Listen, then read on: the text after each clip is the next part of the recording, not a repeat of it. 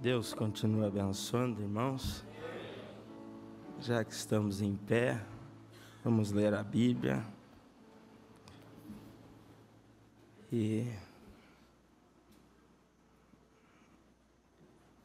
nós é, Êxodo capítulo 6, do verso 1 a 8. E tivemos uma escola muito abençoada, e eu creio que nós que ouvimos, devemos ouvir mais vezes. Quem não ouviu, eu penso que deve ouvir, porque isso vai, vai tirar muitas dúvidas da mente, do coração e vai ajudar a nós melhorar os nossos caminhos diante do Senhor. O título é Confessando seus pecados ou confesse seus pecados. E aquele que confessa e deixa alcança a misericórdia. Que Deus abençoe para mim esse ar, se puder desligar. Não estou ruim da, da garganta. É, então, vamos ler em Êxodo capítulo 6.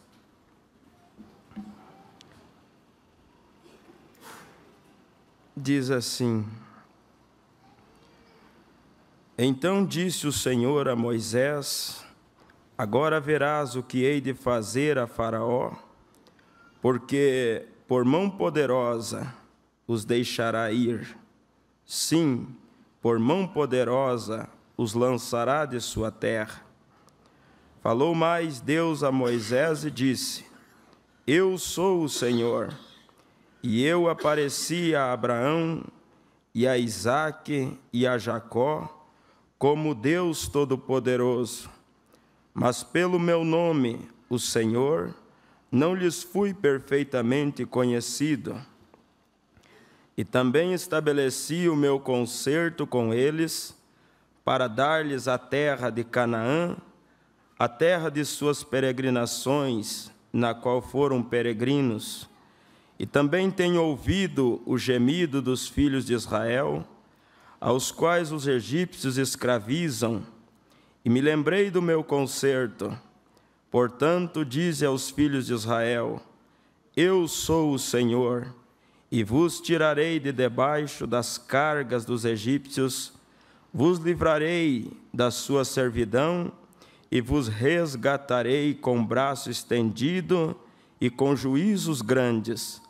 E eu vos tomarei por meu povo, e serei vosso Deus e sabereis que eu sou o Senhor, o vosso Deus, que vos tiro de debaixo das cargas dos egípcios, e eu vos levarei à terra acerca da qual levantei a mão, que a daria a Abraão e a Isaque e a Jacó, e vou-la darei por herança, eu, o Senhor. Deste modo falou até aqui. Que Deus acrescente suas bênçãos à leitura de Sua palavra, podeis assentar.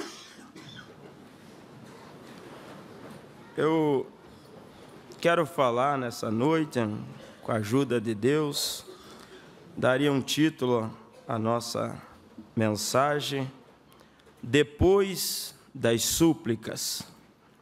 Depois das Súplicas.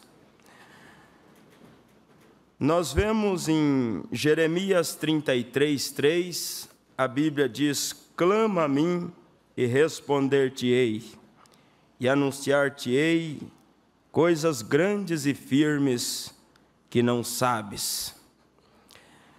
Na verdade, de nada valeria clamar se não houvesse alguém para ouvir o nosso clamor.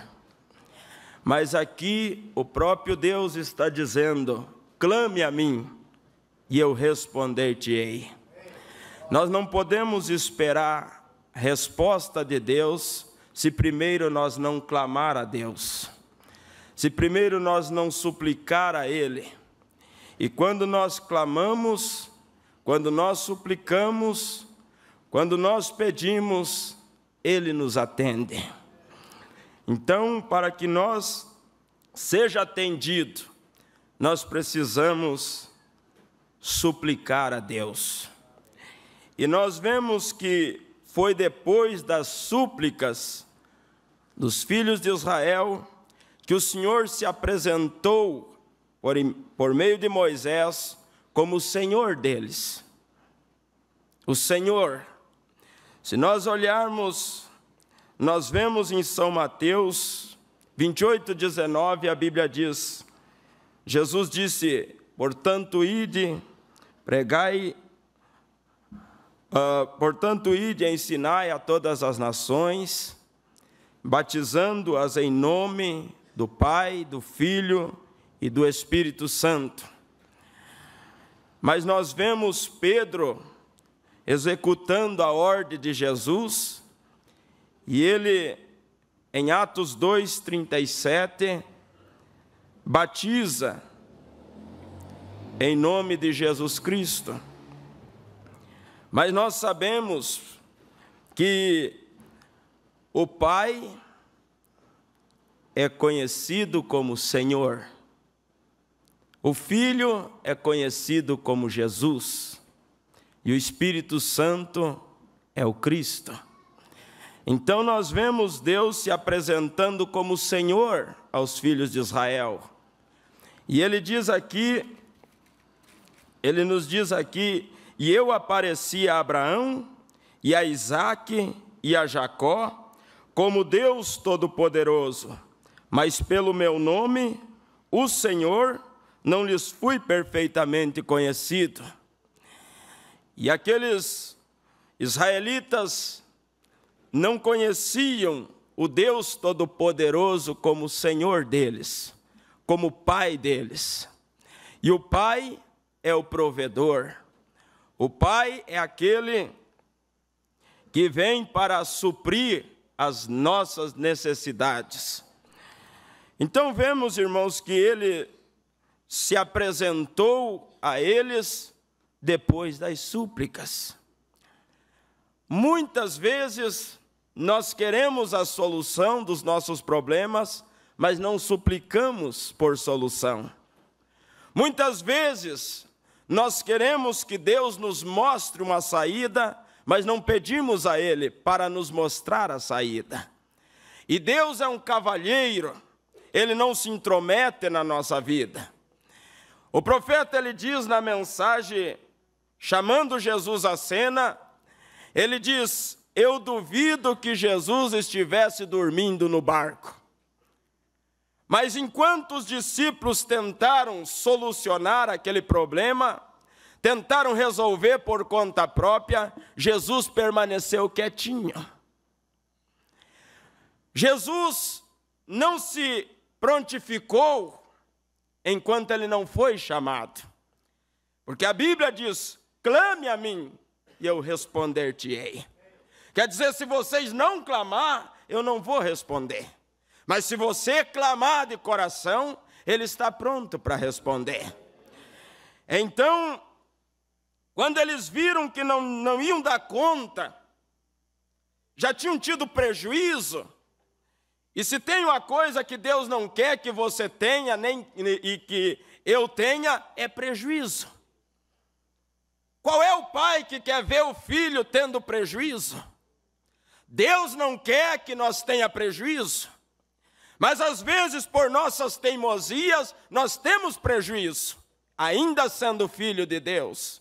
Não que ele deseje, mas é porque nós não clamamos por ajuda. É porque nós não suplicamos a ele. Porque se nós suplicar, ele virá para nos socorrer. Se nós suplicar, ele virá para solucionar esse problema que para você é insolúvel, mas ele sabe como resolver, ele sabe como solucionar. E aí nós vemos, Israel vivia no Egito, mas a Bíblia diz que se levantou um faraó que não conhecia, não conheceu José. E esse Faraó começou a escravizar o povo de Israel. E nós muitas vezes, irmãos, aceitamos ser subjugados por esse rei malvado. E se nós aceitar ser subjugado por este, este rei malvado, se assim podemos dizer, Deus não vai vir ao nosso, ao nosso socorro. E o profeta diz: não precisa de muitos, basta um homem que se renda a Ele e clame a Ele e comece a pedir ajuda dEle, e Ele virá para ajudar, porque o prazer de Deus é socorrer o necessitado. Vocês acham que se o cego de Jericó tivesse ficado calado, ele teria recebido a sua visão? Não, mas ele não ficou calado. Quando ele ouviu o barulho da multidão, ele disse: Que é isso? É Jesus de Nazaré que está passando por aqui. Então ele clama: Tenha misericórdia de mim. E após a súplica, Jesus parou. É depois da tua súplica que ele vai se apresentar para você como a solução. É depois do clamor que ele vai se apresentar para ti como teu provedor. É depois do, da tua súplica que ele vai se apresentar para você como seu curador. Mas se você se conforma, ele, e se você aceita levar esse fardo que não lhe pertence, ele não virá para fazer você livre desse fardo, porque ele simplesmente respeita e a Bíblia diz: tem ouvido o gemido dos filhos de Israel.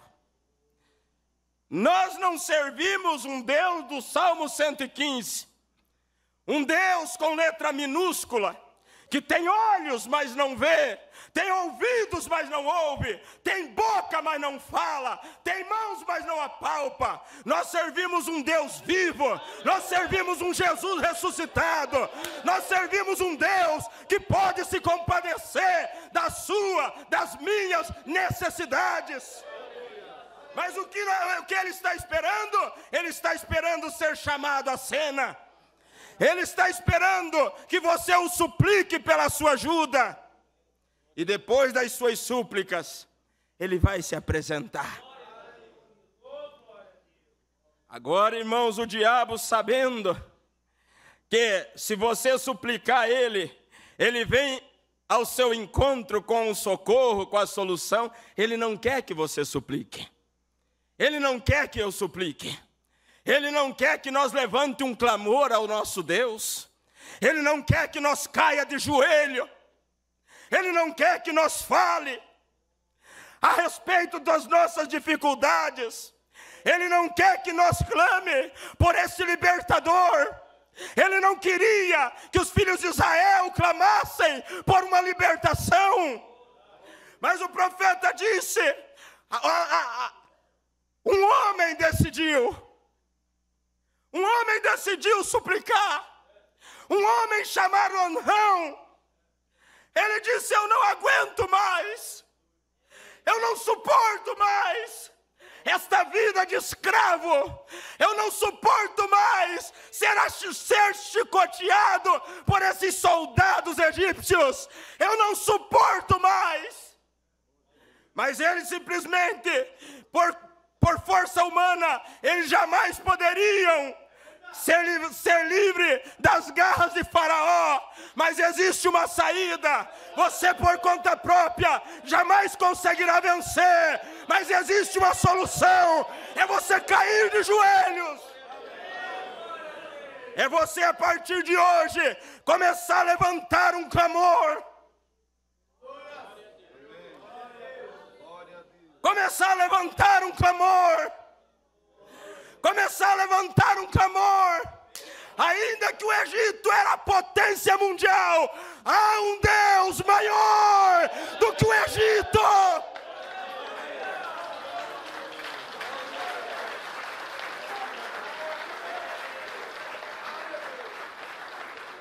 Mas quando ele virá ao seu auxílio, depois que ele ouvir você suplicando, quando ele virá ao seu auxílio, depois que você levantar um clamor a ele, você sabe que se você levanta um clamor ao Senhor, você é capaz de mudar até a mente de Deus. O irmão Brana diz isso na mensagem Crendo em Deus. Ele diz assim: Portanto, esta é a razão, diz, a oração da fé salvará o doente, a oração de um indivíduo, a oração feita por um justo, pode muito em seus efeitos. Oh, se você apenas soubesse que em sua mão, se você apenas soubesse que em sua mão Cristo nos deu autoridade, e em seu nome, por sermos cristãos, a arma mais poderosa que o mundo já conheceu, a oração, a arma mais poderosa. Por que, que o diabo não quer que nós ore? Porque ele sabe que a arma mais poderosa que Deus nos deu é a oração. Tens na tua vida um problema sério para resolver. A luta é tão grande que você pensa que não vai vencer. As coisas vão ficando como se não existisse solução. Se você não sabia, o remédio é a oração. Levante um clamor, levante um clamor ao seu Deus, e você vai ver o sobrenatural manifestado em seu favor. Olha, o profeta diz: é a arma mais poderosa, a oração, ela até mesmo muda tudo. Ela até mesmo muda tudo. Ela muda a mente de Deus. Ela realmente o fez. Após a morte ser decretada a um homem, ele orou. Deus disse ao profeta: Volte e lhe diga que eu ouvi. O rei Ezequias, Isaías acabou de chegar para o rei Ezequias e disse: Coloque tua casa em ordem, porque você vai morrer. Mas Ezequias levanta um clamor. Ezequias vira seu rosto para a parede e começa a orar, e começa a chorar, e começa a suplicar. E a oração de Ezequias chegou na presença de Deus, e moveu o coração de Deus, mudou a mente de Deus. Isaías nem tinha saído do pátio. Deus diz assim: Volta, Isaías. E diz que eu acrescentarei mais 15 anos de vida, porque eu ouvi a sua oração e vi as suas lágrimas.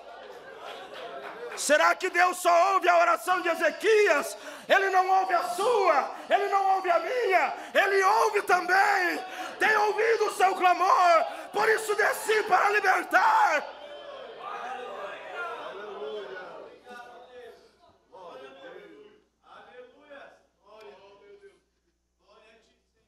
Bem, Jesus Cristo é o mesmo ontem, hoje e eternamente. Bem, a Escritura diz, eu creio, em algum lugar, que os demônios tremem quando o mais fraco dos santos se ajoelha. Os demônios tremem quando o mais fraco dos crentes se ajoelham. Por que, que ele não quer que nós se ajoelhe? Porque ele sabe que quando você se ajoelha, ele sabe porque quando você suplica, aquele que resolve tudo, ele virá ao seu encontro, se essa súplica for de coração.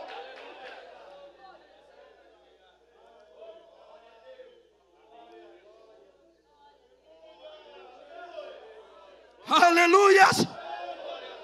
Aleluias! Eu tenho certeza que a partir de que você levante um clamor, essa situação vai ser mudada. Se você simplesmente levantar um clamor, essa condição vai ser mudada da sua vida. Isso não é utopia, isso não é palavra do Darcy, é a palavra de Deus. Aleluias! Aleluias!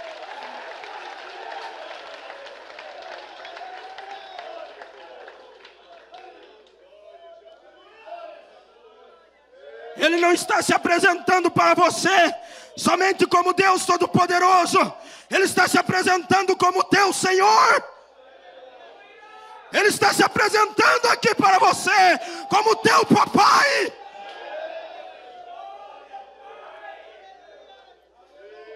Aleluia! Você crê nessa Bíblia? Você crê que essa Bíblia é a palavra de Deus? É ela que está dizendo: clame a mim, clame a mim, clame a mim, e responder-te-ei. Clame a mim. Não sou eu, é a palavra de Deus. Se você está cansado de chicotada, levante um clamor. Se você está cansado de ser escravo, levante um clamor. Se você está cansado,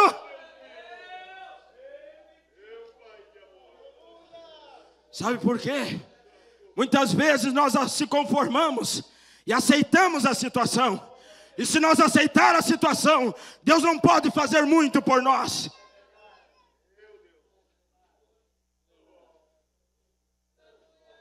Enquanto Israel não começou um clamor, Deus não se apresentou a eles como a solução.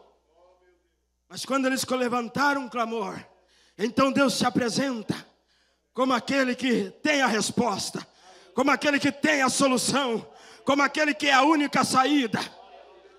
E se você começar um clamor, levantar um clamor, ele vai se apresentar para você como Jeová Jirei aqui esta noite.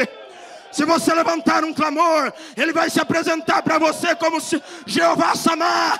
Se você levantar um clamor, ele vai se apresentar para você como Elohim, o alto existente, o todo poderoso.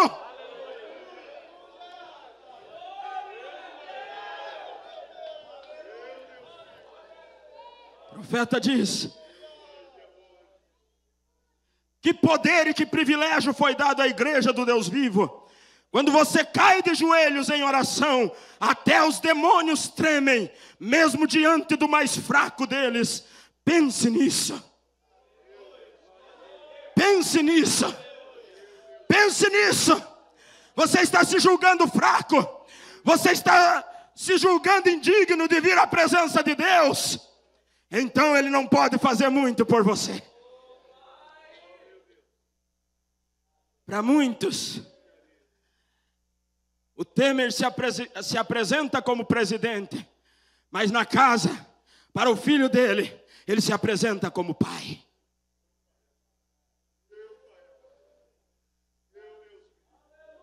Para mim, ele, me, ele se apresenta como pai. Você quer ver mais?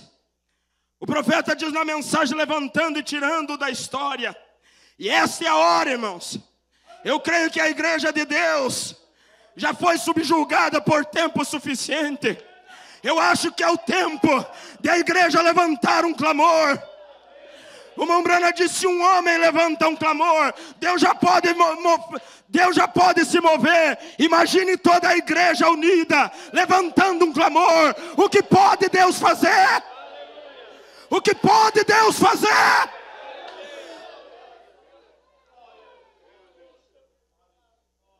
Charles Finney, com alguns outros companheiros, levantaram um clamor em uma determinada cidade, e por seis anos naquela cidade não teve bares e não teve baile.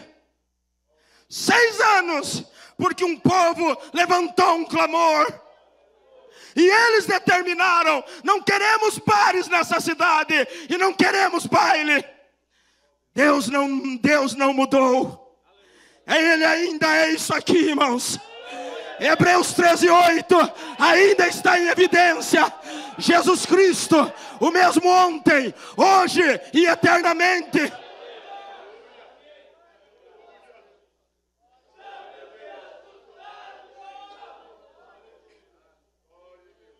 O profeta diz: Estou pensando de uma ocasião agora mesmo e quando uma nação estava em cativeiro, era Israel, e eles estavam no Egito, e era difícil e rigoroso servir aos egípcios. Parecia como que todos se haviam esfriado. Vocês sabiam que Israel esteve no Egito o dobro do tempo que os Estados Unidos têm sido uma nação? Nós não temos mais de 150 ou 70 anos de idade, ou algo assim. E eles estiveram 420 anos no Egito. Porém, veio um tempo quando parecia que todas as esperanças se haviam perdido. Porém, havia um homem e uma mulher que parecia ter fé em um Deus histórico, que falou a Abraão no tempo da crise, e eles creram que podiam chamá-lo e que ele responderia. E eles foram, Arão e Joquebede, a esposa de Arão, a mãe e o pai de Moisés. E aqui, há algum tempo atrás, eu estava pregando e dei uma pequena ilustração de como Arão vinha para casa à noite e dizia: Joquebede, estou tão cansado, e com açoites vivos em suas costas, do látigo de um capataz. E ele se assentava pacientemente, e ela se assentava pacientemente, talvez, e lavava os lugares, e chorava e dizia: oh, Arão, não há algo que possa se fazer? Agora nós poderíamos ouvi-lo dizer: Ó oh, querida, se tu, se tu houvesse estado comigo hoje e vê-los golpear aos moços jovens, tentando carregar aquelas cargas, porém não tinham coração. E eles os tratavam como se fossem animais. E esses são nossos homens jovens de Israel. Não há algo que se possa fazer? Isso é o que pergunto nestes momentos, ao ver, ao ver a nossos moços adolescentes, homens e mulheres do amanhã, nossos adolescentes de hoje, o cabelo comprido até suas nucas e suas calças baixas até suas cadeiras, com uma pistola metida ao seu lado, um cigarro do lado de suas bocas, que será? Isso é todavia escravidão do diabo. Talvez você tenha um filho nessa condição, e você diz: O que eu posso fazer? Você pode fazer uma coisa, você pode fazer o que Arão fez, começar a levantar um clamor ao Deus Todo-Poderoso, e esse quadro pode ser mudado. As drogas não são mais fortes do que o Deus que nós servimos. O cigarro não é mais poderoso do que o Deus que nós servimos. O pecado não é mais poderoso do que o Deus que nós servimos. Mas se você se conformou, Deus não tem muito o que fazer. Mas Arão não aceitou. Arão olhou e viu aqueles jovens israelitas apanhando, e ele diz: Isso não pode, não pode durar para sempre. Não pode durar para sempre. Tem que, algo tem que ser feito. Nós, por nós mesmos escapar das mãos de Faraó, não podemos. Mas nós temos promessa. Deus prometeu a Abraão. Deus prometeu a Isaac. Deus prometeu a Jacó. E um dia o nosso José disse: Quando vocês partirem daqui, não esqueçam de levar meus ossos. Se José havia dito isso, é porque ele tinha certeza que um dia eles deixariam aquela terra.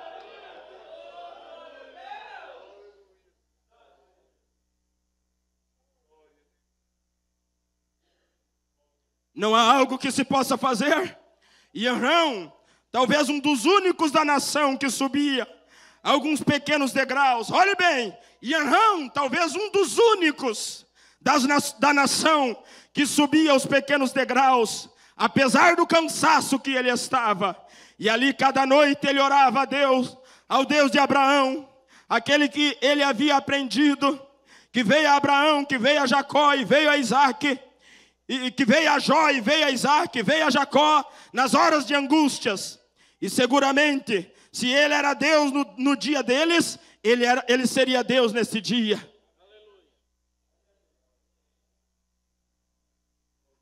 Se ele era Deus no dia deles, ele é Deus nesse dia. Se ele era Deus nos dias que o profeta pregou essa mensagem, ele é Deus ainda hoje. Ele não muda o seu parecer acerca da sua palavra.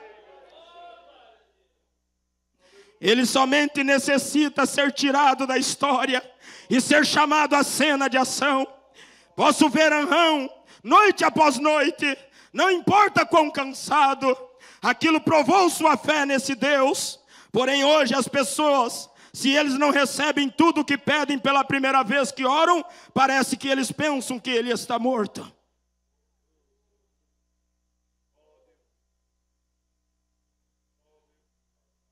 Ele não está morto. Ele não está vivo. Ele só quer ouvir de você. Ele só quer ver, ouvir as tuas súplicas. Ele só quer ver você batendo. Ele só quer ver você como a viúva que importunou o juiz iníquo até que ele fez justiça. Ele só quer ver você insistindo, porque quem tem interesse de algo não desiste facilmente. Nós lutamos para conseguir nossa casa própria. Nós lutamos para conquistar um carro melhor. Nós lutamos para ter um salário melhor. Porque não vamos lutar por aquilo que é eterno. Porque não vamos lutar pela salvação da nossa família. Porque não vamos lutar por aquilo que é mais valioso.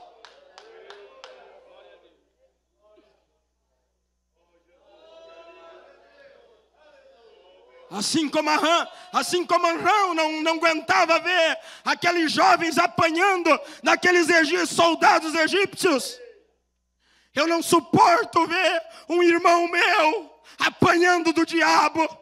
Eu não suporto ver um, um parente meu sendo escravo do diabo e eu tenho tomado a decisão, eu tenho levantado um clamor. Eu não sei como Deus vai fazer, mas que Ele vai tirar os meus queridos das garras de Satanás, Ele vai tirar.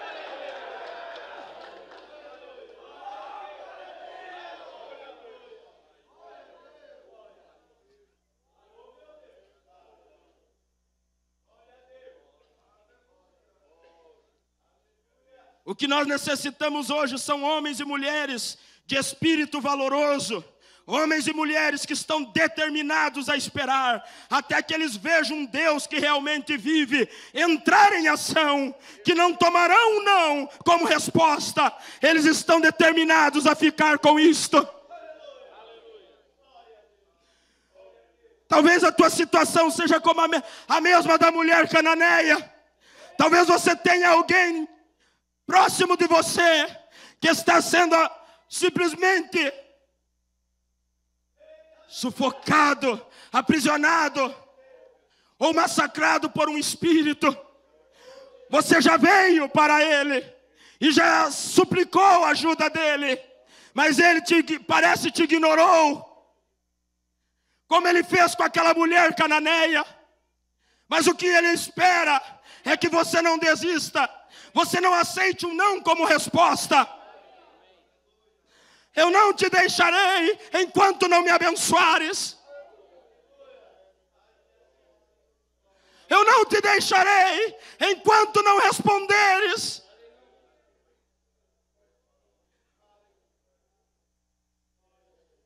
Se estão enfermos e o médico tem dito que não há cura, Todavia, algo dentro deles diz que vão ser curados. Agarrem-se, não importa o que suceda. Você tem se unido às igrejas do mundo. E como podemos ver Arão, nessas noites fatigadas, as costas sangrando, subindo as escadas outra vez, orando até as duas ou três da manhã, parecia que ele estava falando ao vento. Ali dentro do seu coração judeu estava ardendo uma fé que nenhum vento de dúvida pode apagar nunca. Esse é o tipo de homens e mulheres que necessitamos, que se levantem em cena hoje. Se ele não responde nessa noite, ele responderá amanhã à noite. Se ele não responder neste ano, ele responderá no próximo ano, pois ele é Deus. Não um Deus com letra minúscula, senão o Deus, o Todo-Poderoso. E nós vemos noite após noite como Arão subia os degraus.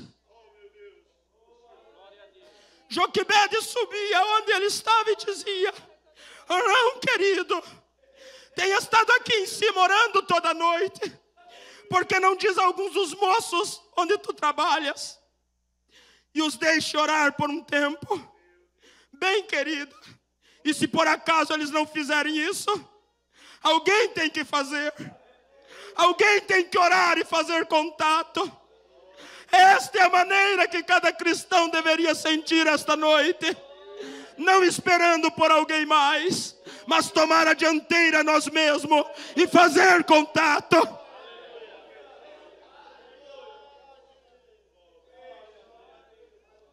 Fazer contato. Se nós cremos que a Bíblia é uma história, é também um livro profético que diz que esse mesmo Deus se levantará nos últimos dias, e é o tempo que ele tem que vir em cena. Isso é o que Abraão sabia, que Moisés havia profetizado. Não Moisés, perdoe-me, Abraão se havia dado uma promessa por este Deus de história.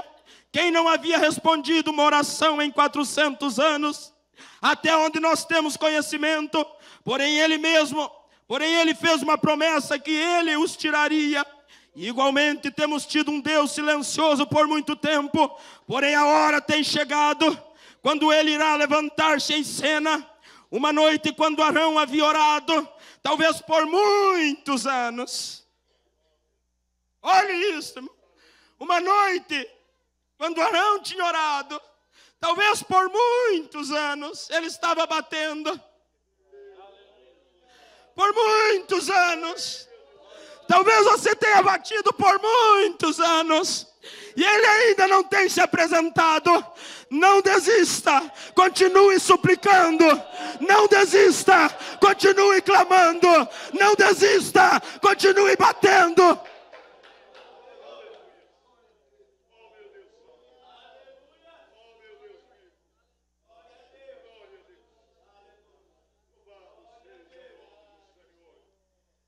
Uma noite, quando Arão havia orado, talvez por muitos anos, e seu cabelo agora estava grisalho.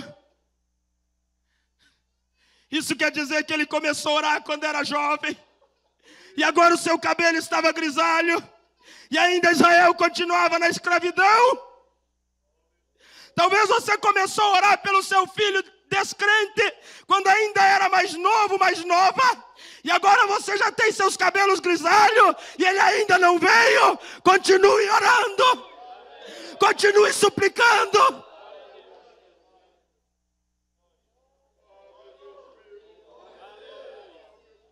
Isso é se você crê nessa palavra. E agora, seu cabelo agora estava grisalho e não havia libertação, mas que estava se tornando pior. Uma noite ele chegou ao miolo do assunto. Assim é como nós temos que fazê-lo, chegar ao miolo do assunto. Ele disse: Deus, tu prometestes isto, e temos esperado ansiosamente por isso, e vemos todos os sinais aqui, e o tempo está à mão, é tempo para que tu faças algo a respeito. Enquanto ele estava numa oração de concentração profunda, orando com todo o seu coração, ele olhou para, parado na esquina, ele arregalou os seus olhos e olhou outra vez. Ali estava parado um anjo com uma espada desembanhada. Aham, não sabia, mas ali estava parado um anjo com a espada desembanhada. Arão, Arão nem imaginava que da sua casa nasceria o libertador. Ele nem imaginava que ele seria o pai do libertador. Ele nem imaginava. Ele não orava para que fosse o libertador da sua casa. Ele orava por um libertador. Ele orava por uma libertação. Como vai ser, não interessa. Tudo que nós queremos é simplesmente cantar a vitória. Não importa se vai ser num dia de semana ou num final de semana, se vai ser de manhã ou de tarde, se vai, se vai ser durante esse ano ou no ano que vem, não interessa.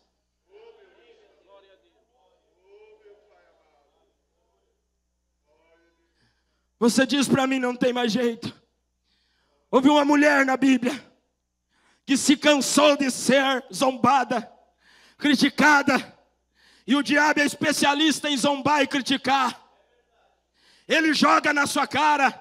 Quantas vezes você foi atingido por esse pensamento? Olhe você que é crente, olhe o quanto você sofre. O ímpio que não, não serve a Deus, ele vive uma vida regalada. Mas se você se conformar com essa situação, Deus não pode fazer muito a teu respeito. Mas se você levantar um clamor, chegou o tempo que Ana se cansou de Kenina, e eles foram a Siló, e Ana estava cansada de ser criticada, porque ela não podia ter filho, mas ela foi ao templo, e a Bíblia diz assim: Ana roga a Deus que lhe dê um filho. Então Ana se levantou, depois que comeram e beberam em Siló, e Eli, o sacerdote, estava sentado numa cadeira junto a um pilar do templo do Senhor. Ela, pois, com amargura de alma, orou ao Senhor e chorou abundantemente, e votou um voto, dizendo: Senhor dos exércitos, se benignamente atentares para a aflição da tua serva, e de mim te lembrares, e da tua serva te não esqueceres, mas a tua serva deres um filho varão, ao Senhor o darei por todos os dias da sua vida, e sobre a sua cabeça não passará navalha.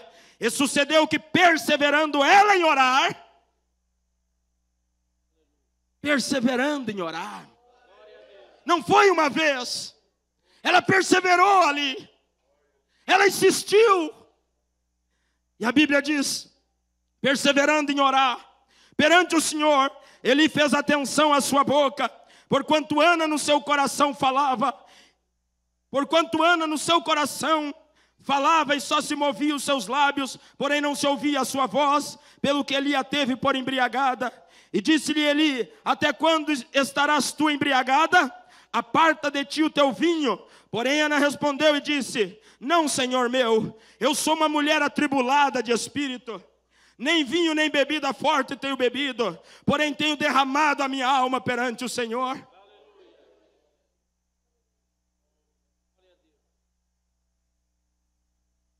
Não tenhas, pois, a tua serva por filha de Belial, porque da multidão dos meus cuidados e do meu desgosto tenho falado até agora. Então respondeu Eli e disse: Vai em paz, e o Deus de Israel te conceda a tua petição que lhe pediste. E disse ela: Ache a tua ache a tua serva graça em teus olhos. Assim a mulher se foi seu caminho e começou e comeu, e o seu semblante já não era triste. Ela ainda não tinha o filho, mas o seu semblante já não era triste. Porque ela estava ela tinha suplicado ao Senhor. E depois da sua súplica, ela tinha certeza que o Deus dos céus havia lhe ouvido e lhe traria a resposta. E não demorou, e não demorou muito. Ana segurou o pequeno Samuel em seus braços. Não demorou muito. Ana segurou a pequena criança em seus braços. Mas porque muitas vezes nós não alcançamos, é porque nós não suplicamos. E se nós não suplicamos, é porque nós não acreditamos. Nós já estamos conformados com a situação. Porque ainda não obtivemos. Mas Arão começou a orar jovem. E ele não desanimou. Ele não desanimou.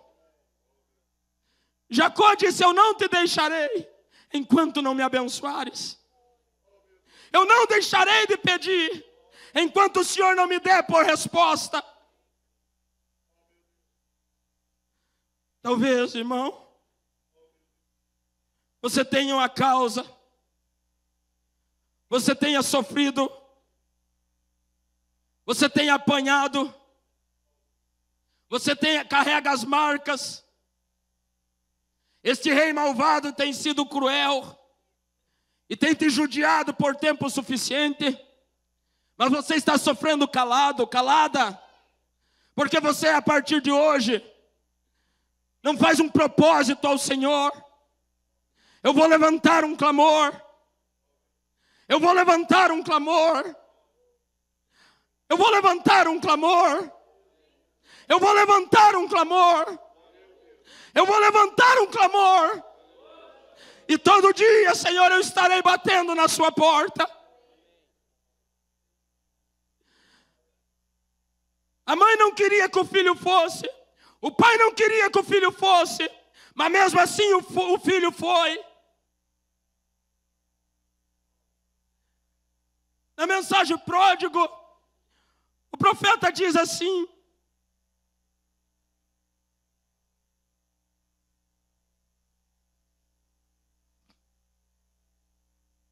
Agora, eu posso ver o sujeito ali agora, em um chiqueiro. À noite, aquele lugar cheirava muito mal. Não adianta lamentar, irmão. Muitas vezes nós nos queixamos mais para os outros do que para Deus. Nós queixamos mais da nossa situação para outros, mas outros são tão ser humano como você. Você tem que queixar, você tem que derramar a sua alma perante aquele que pode te ajudar.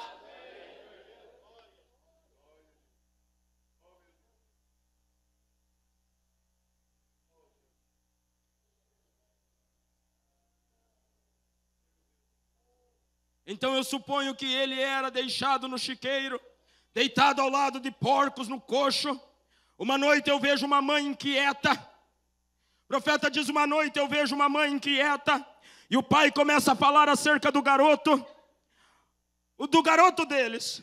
Ouço a mãe dizer: Eu estou simplesmente tão inquieta, pai. Eu não sei o que fazer. Eu apenas continuo pensando acerca de nosso garoto. Desejaria saber onde ele está. Desejaria saber se ele teve algo para comer. Eu ouço o pai dizer: Temos sempre sido ensinado que todas as coisas contribuem para o bem daqueles que amam a Deus. E aí o pai diz assim: Oramos. Você quer saber como o seu garoto está, mãe? Aí o pai diz assim: Oremos. Você quer saber como vai vir a sua resposta? Oremos. Você quer saber como vai ser solucionado esse problema?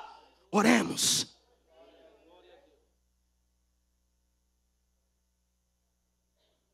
E ambos caíram de joelho. E quando eles caíram de joelho, por certo, o diabo que afastou aquele jovem da casa começou a tremer. Porque agora os céus iam ser bombardeados.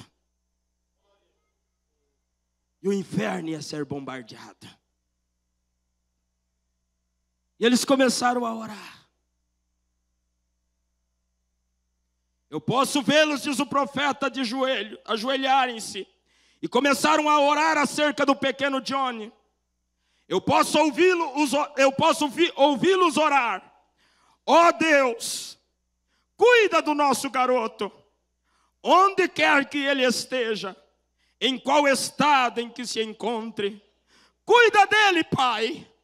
Envia-o para casa. Onde ele está? Ali embaixo no chiqueiro, indo ao chiqueiro.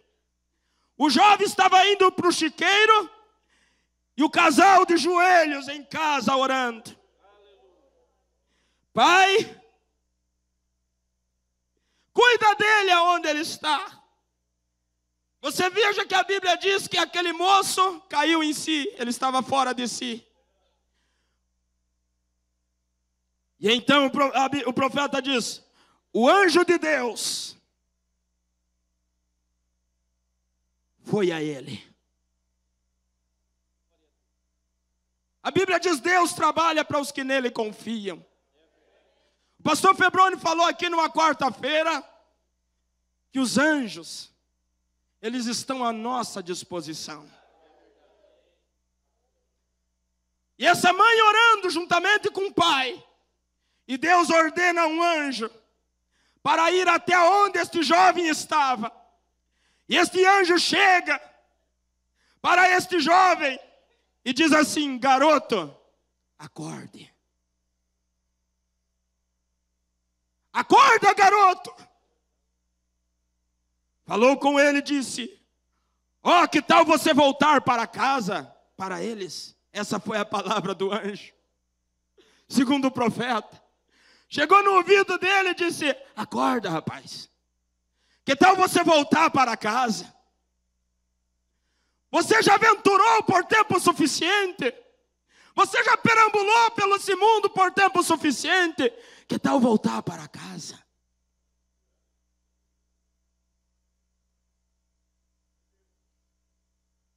E depois da súplica dessa mãe, depois da súplica desse pai, eu termino dizendo: com dois assuntos eu quero terminar.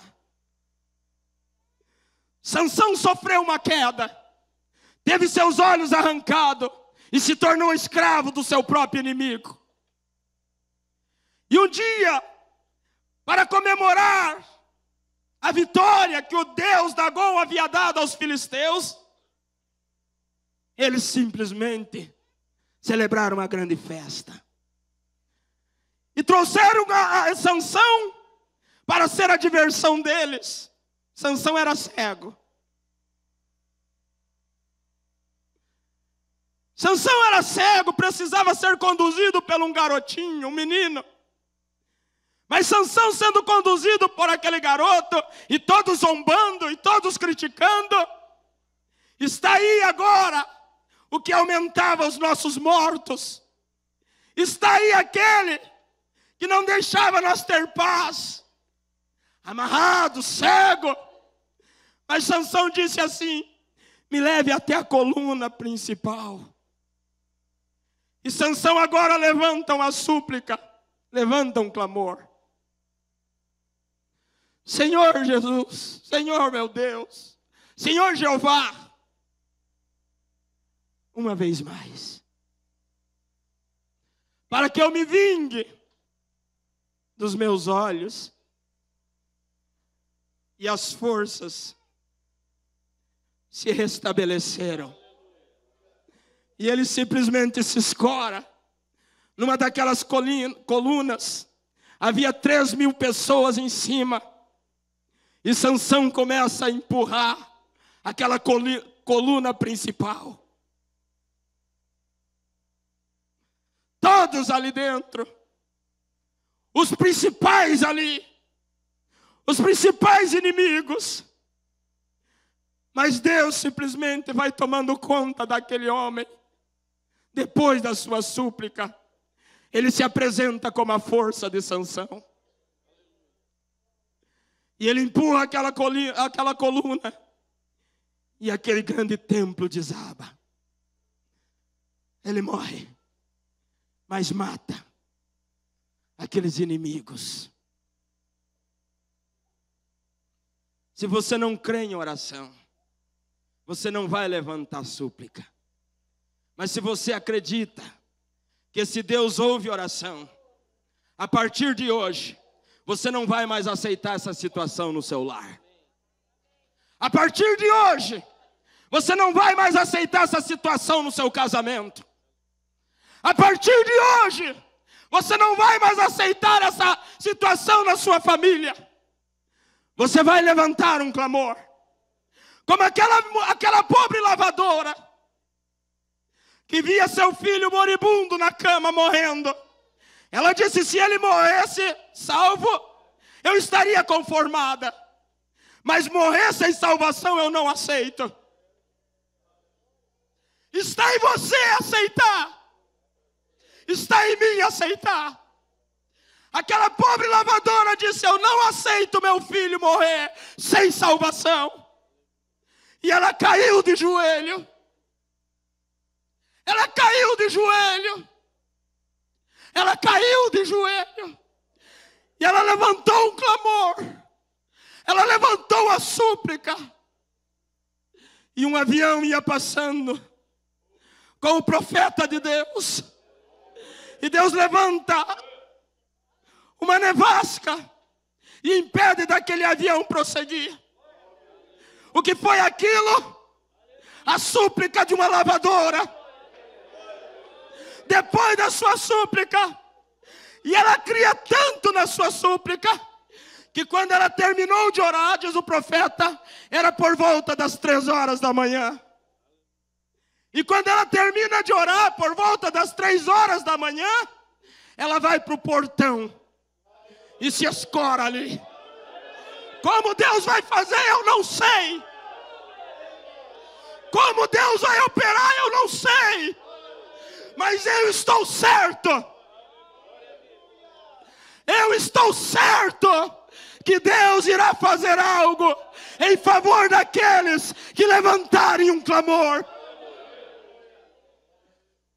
E ela se escora no portão, desde as três da manhã. E o profeta vai levar umas cartas para, de, para colocar nos correios. E o Espírito Santo começa a dirigir ele. Entra aqui. E ele não entendendo nada. Mas ele, ele diz assim: na mensagem, fazei tudo como ele mandar. Ele só fazia o que o Espírito Santo mandava. E se nós só fazer o que essa palavra manda, nós vamos se encontrar com o sobrenatural. Se nós só fazer o que essa palavra manda, esta igreja verá o sobrenatural.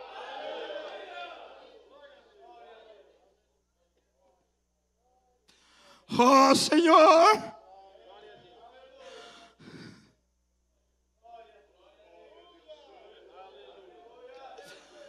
A Filisteus dizendo para você: Onde foi a tua força, Sansão?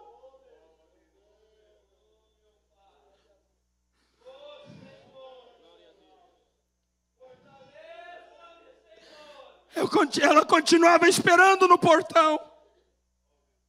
E passou uma hora, e ela ainda estava no portão. Passou duas horas, ela ainda estava no portão.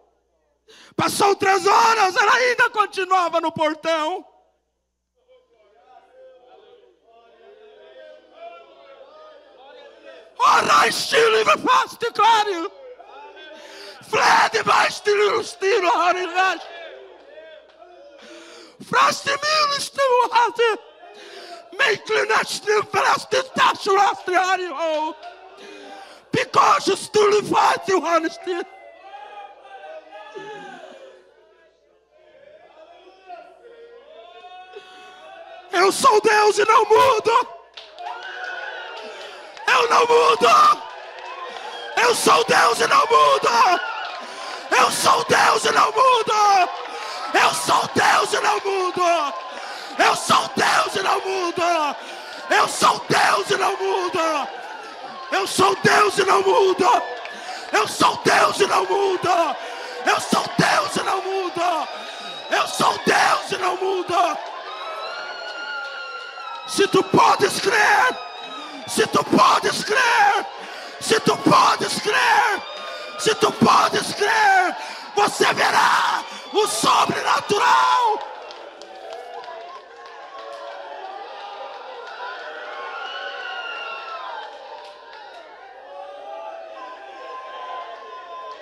Levante um clamor.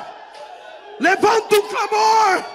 Se você quer a resposta, se você quer a vitória, levante o clamor, levante o clamor, levante o clamor.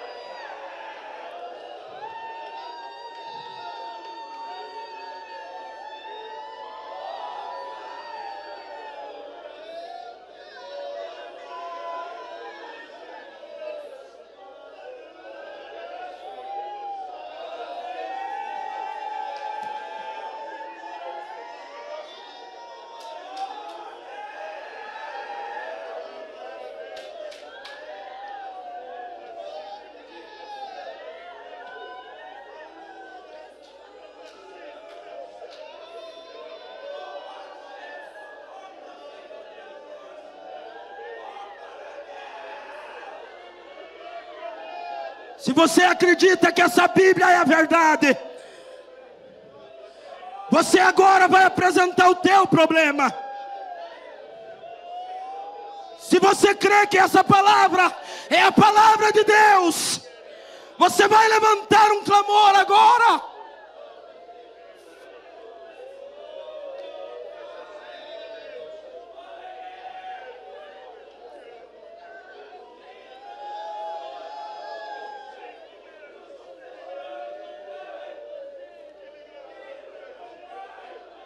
Igreja, igreja. Não tenha medo. Ele se apresenta como seu Senhor. Após a tua súplica, após o teu clamor, após o clamor de Ana, ele abriu a sua madre. Após o clamor do cego de Jericó, ele abriu os seus olhos. Após o clamor de Sansão, as forças foram recobradas. Após o clamor daquela pobre lavadora, o avião parou.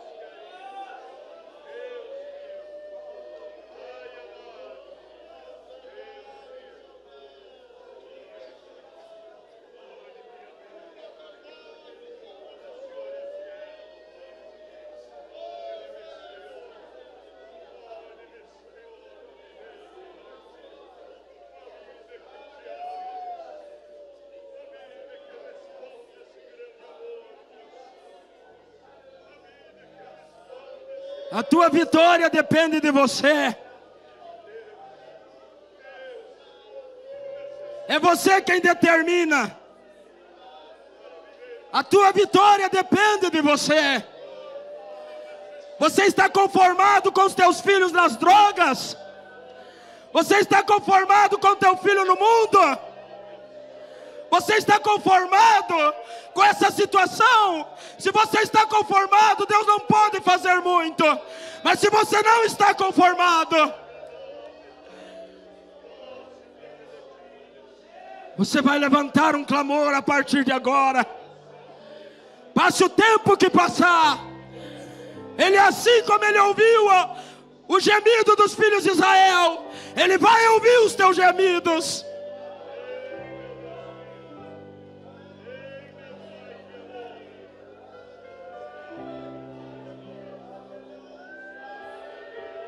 Você vai aceitar viver curvado com esta enfermidade, com este problema. Você vai aceitar essa situação. Se ele partir salvo, partisse salvo estaria bem. Mas eu não abro mão, eu não aceito ele partir sem a salvação. Foi o que disse aquela lavadora. E ela esperou quando deu oito horas da manhã ali vinha um homem. E quando ela, ele ficou em frente ao seu portão, ela disse: Olá, pastor. Olá, pastor. Como você sabe que eu sou um pastor? O Senhor me falou que tu virias à minha casa. Eu sou como aquela mulher da Bíblia, sunamita. Eu não podia ter filho e Deus me deu um e ele se perdeu, e agora está morrendo, mas eu não aceito ele partir sem a salvação.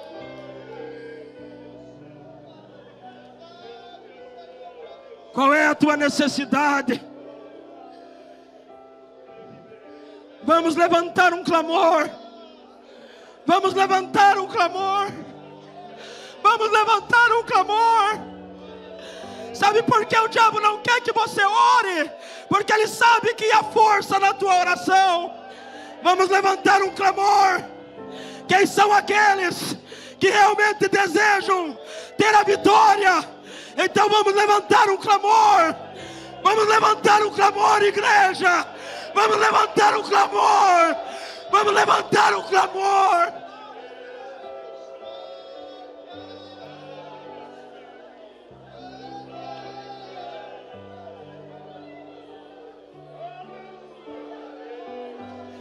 Levantamos um clamor. Levantamos um clamor. Eu estou junto. Levantamos um clamor. Oh, sim. Levantamos um clamor. Levantamos um clamor. É a tua vida que está em jogo. É o teu lar que está em jogo. É a tua família que está em jogo. Levantamos um clamor. Levantamos um clamor levantamos um clamor.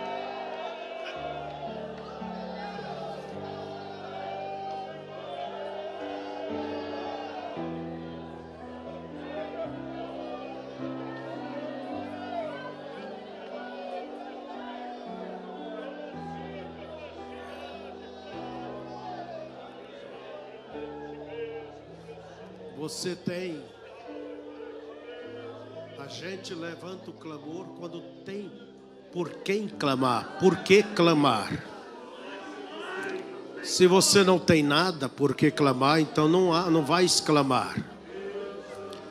Mas você não sente por, por essa filha desviada, filho, ou esse querido drogado, ou a sua natureza forte, ou alguém que é amado, que está doente, está sendo massacrado.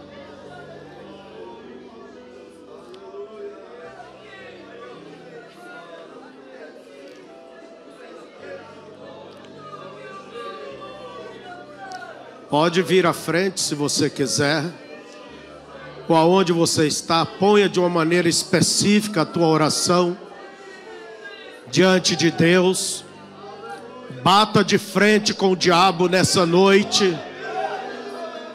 Bata de frente com o diabo nessa noite.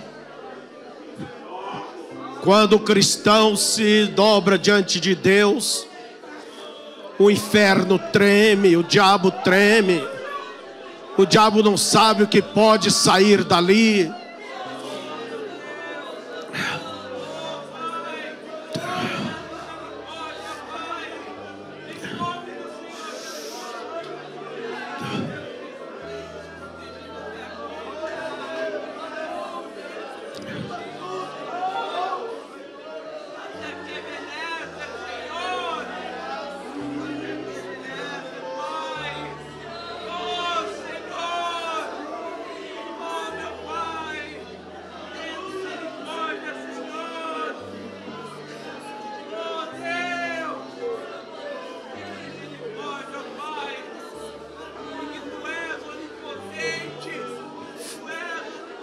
Fale de coração a Deus.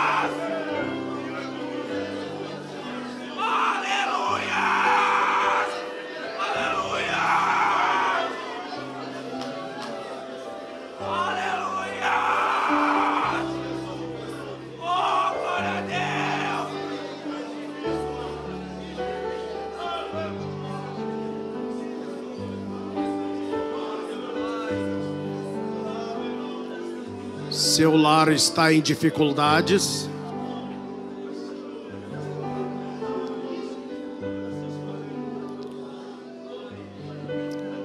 Sua vida está em perigo.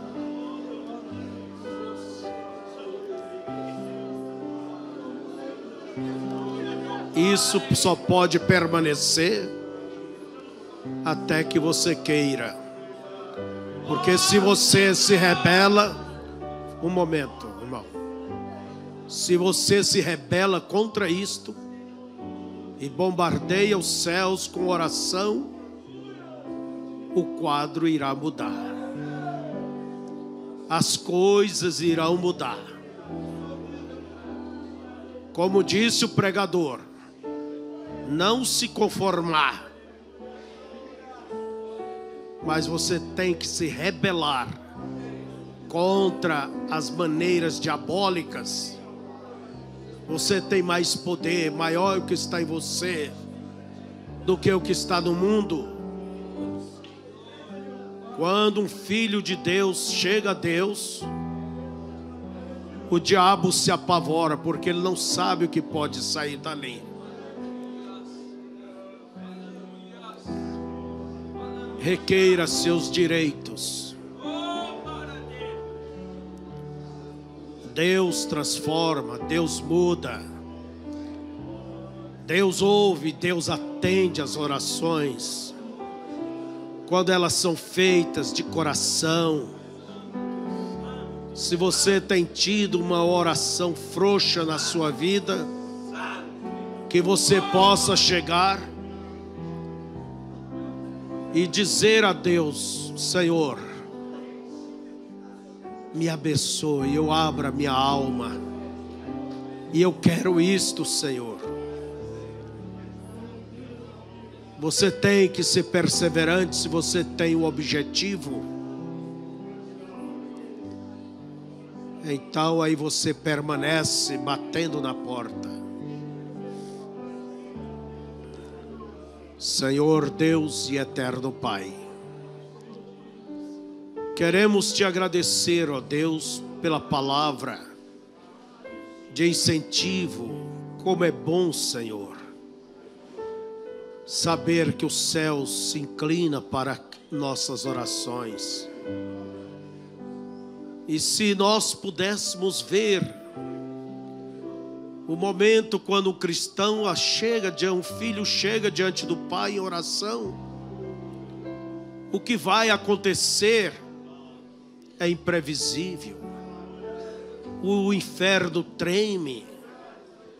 Ó oh, Deus, o diabo se espanta, porque esta é a grande arma, a maior arma que o Senhor nos deu, é a chegar a Ti e dizer: Pai, eu preciso disto, Pai, eu necessito disto para a Tua glória, Pai, eu quero a cura, Pai, eu quero a libertação da minha filha, do meu filho, do meu sobrinho. Eu quero a transformação, Senhor, a conversão. Oh Deus,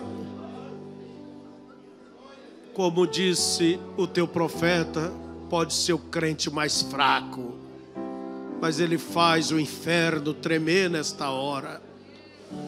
Senhor, venha de encontro com a necessidade de cada lar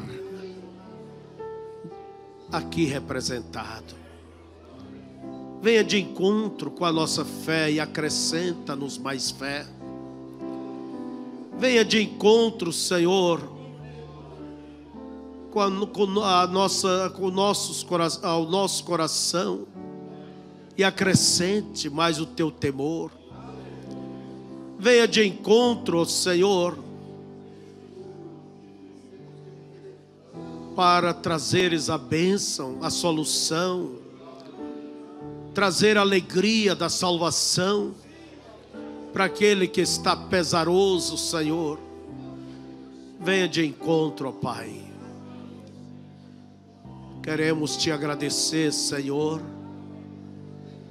por tudo quanto o Senhor tem feito e queremos agradecer muito mais pelo que o Senhor ainda fará. Em nome de Jesus Cristo. Amém, Senhor.